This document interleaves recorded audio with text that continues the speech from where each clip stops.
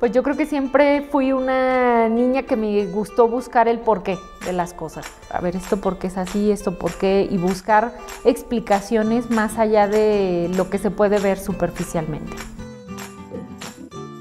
Siempre como que me interesó esa parte de identificar las causas de los problemas. Pero yo creo que se afianzó más cuando realicé mis estudios de maestría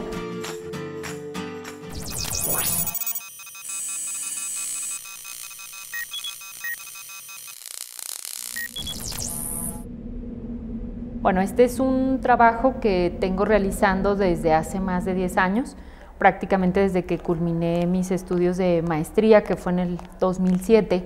Y esta investigación surge a raíz de la problemática que hay con la obesidad infantil. Es un trabajo que se ha manejado a través de una red con Nuevo León, Coahuila, Tamaulipas y en un momento también participó el, estado de San Luis Potosí e igualmente pues Zacatecas. Eh, ¿Por qué surgió el interés de investigar esta parte de la percepción materna? Pues hemos visto que hasta un 70-80% de las madres que tienen hijos con sobrepeso u obesidad no logran identificar que tienen este problema. Entonces es muy difícil que la madre se pueda involucrar en cualquier intervención que pretendamos hacer para disminuir la prevalencia de obesidad infantil si ella no está consciente de que su hijo tiene un problema de malnutrición por exceso.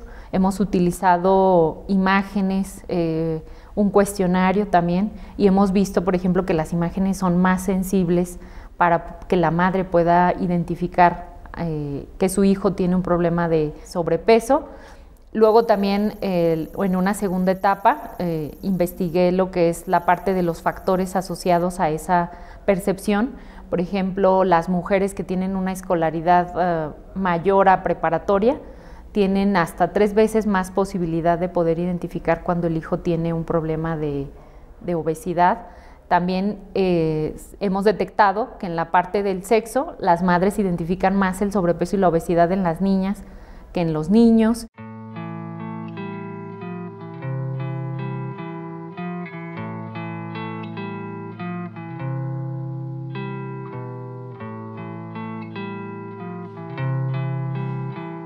La madre también a menor edad del niño se le dificulta más poder identificar esta parte del sobrepeso y sobre todo porque ellos consideran que cuando la persona crezca se le va a quitar ese exceso de peso que tiene o en ocasiones lo asocian mucho con, ah, pues en mi familia son gorditos, entonces es normal que mi hijo esté gordito. Pues las madres como que sí les sorprende el hecho de decirles pues tiene un exceso de peso.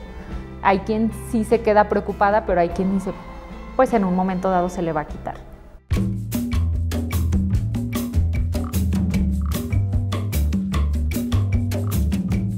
Y entonces para entender eh, esa parte de por qué la madre quizá no se involucra o cómo interpreta la, obesidad y el sobrepeso del hijo, pues sí nos tenemos que meter con cuestionarios o con entrevistas más, eh, investigación más cualitativa donde la madre nos pueda expresar su sentir, lo que piensa y de esa manera poder interpretar su conducta, ¿verdad?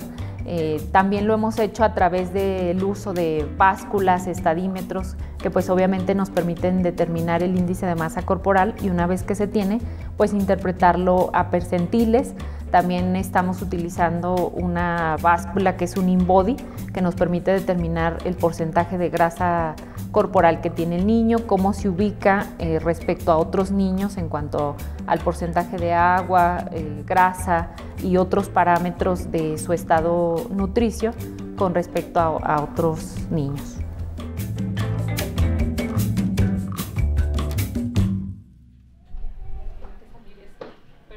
Los principales retos yo creo que son dos. El primero de ellos es eh, pues ahora sí que la gente participe. La verdad es que la investigación social se torna un tanto difícil eh, en el sentido de que es trabajar directamente con, la gente, en este caso con las madres, pudiéramos decir que de 100 que invitamos a participar o que se les hace, primeramente pues hacemos un citatorio, eh, las autoridades de las diversas instituciones educativas pues nos apoyan en esta parte. Yo creo que de 100 asiste un 30%. Entonces yo creo que el primer gran reto es ese de concientizar a la gente y que esté clara de la importancia que tiene su participación en, en, la investigación. El segundo gran reto, pues yo creo que al igual que todos los investigadores, el conseguir fondos eh, para realizar este tipo de investigaciones. Pues sí, el trabajo de campo requiere de, de una inversión económica importante.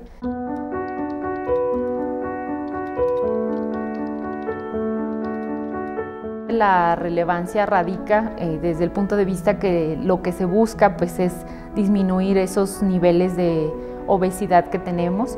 Ya son varios años que México ocupa el primer lugar en obesidad infantil, esto sin considerar pues que somos el segundo lugar en obesidad en adultos. Si no se ataca la obesidad desde etapas tempranas de la vida, por ejemplo, un escolar que cursa con sobrepeso u obesidad a esa edad tiene un 40% de riesgo para que pueda ser obeso en la vida adulta y en un adolescente esa cifra se incrementa hasta en un 70%.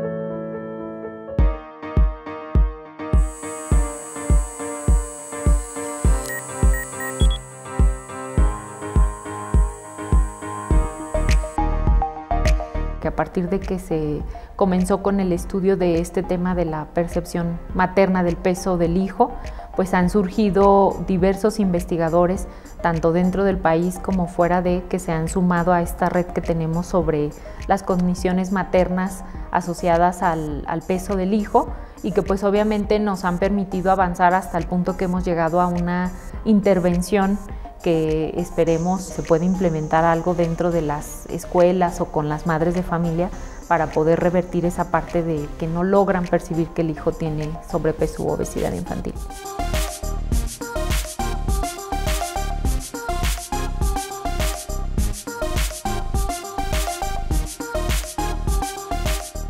El ingreso al Sistema Nacional de Investigadores, considero que cualquier investigador tenemos esa meta en algún momento de nuestra vida y en lo particular la alcancé cuando tenía 32 años, ingresando directamente al nivel 1 y muy en particular dentro de la unidad académica de enfermería.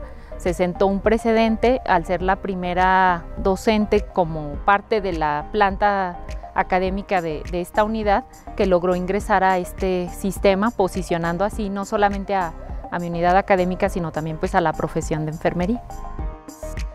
Yo considero que hemos tenido grandes avances, sin embargo, pues sí necesitamos seguir empujando esta parte de la ciencia, porque si hay algo que garantice el crecimiento y desarrollo de un Estado, o en este caso de un país, pues es la parte académica que tiene que ver primero pues con la formación de nuestros jóvenes. Eh, justo en las estadísticas a nivel nacional, las mujeres que estamos inmersas en, la parte de la ciencia somos alrededor del 30%. Las mujeres estamos aportando bastante a la ciencia con investigaciones que están dejando pues, un impacto en, en, la sociedad, que es finalmente lo que se busca. Soluciona los problemas que nos aquejan y no investigaciones que se queden meramente pues, ahí en el escritorio.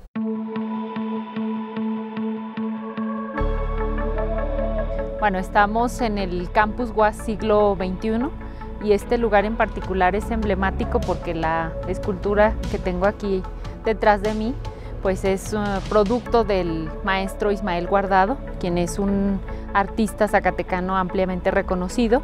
Y esta escultura en particular denominada El Arado representa pues ahora sí que la característica esencial de nuestro estado como un lugar meramente agricultor Zacatecas indudablemente ha tenido mucho aporte a, la tarea que yo realizo. Primeramente, pues a través de brindarme una formación. En segundo lugar, pues bueno, al brindarme la oportunidad de tener un trabajo donde puedo hacer actividades que me gustan y que han sido de mi interés de, desde antaño, como es pues lo relacionado con la salud, con la docencia y obviamente pues con la investigación. Pues para mí en los 12 años que tengo casi trabajando dentro de ha sido pues como mi segunda casa donde he tenido oportunidades de desarrollo en diferentes aspectos de mi vida y pues obviamente las satisfacciones que me ha dejado pues son imborrables.